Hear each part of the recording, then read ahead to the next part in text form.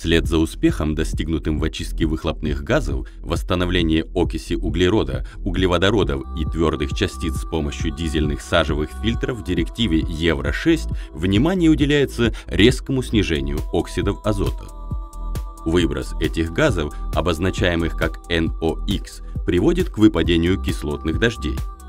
Проблема нейтрализации эмиссии оксида азота имеет особое значение в автомобилях с дизельными двигателями и осложняется тем, что эти газы не нейтрализуются с помощью трехсторонних катализаторов, как в бензиновых автомобилях.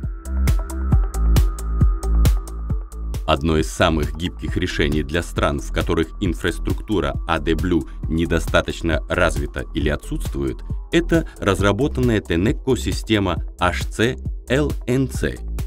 Она позволяет улавливать оксиды азота, используя в качестве восстановителя этанол Е85, а при его отсутствии дизельное топливо, поступающее из топливного бака автомобиля. Принципиальная схема системы SR HCLIN NOx очень похожа на систему фильтра XNOx DPF SCR фирмы Tenneco и включает следующие компоненты. Сажевый фильтр DPF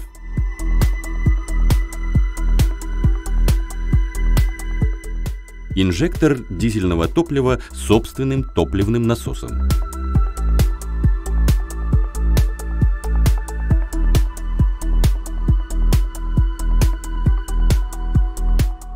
новый инжектор с отдельным насосом и бачком, подготовленным для впрыска этанола Е85 или Е100 в систему. Кольцевой смеситель, расположенный за зоной инжектора перед катализатором восстановления. Датчик NOx и термодатчик, установленные за зоной впрыска восстановителя. избирательный катализатор восстановления, в котором в качестве каталитического элемента используется серебро. Термодатчик и датчик оксидов азота, расположенные на входе катализатора восстановления. И, наконец, блок электронного управления, обеспечивающий правильную работу системы.